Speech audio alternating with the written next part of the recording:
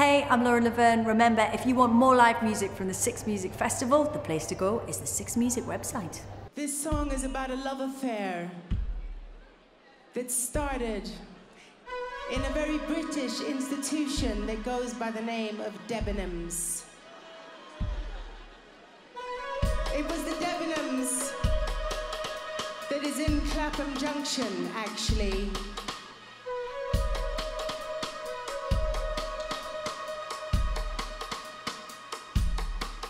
She was standing by the till when he came up.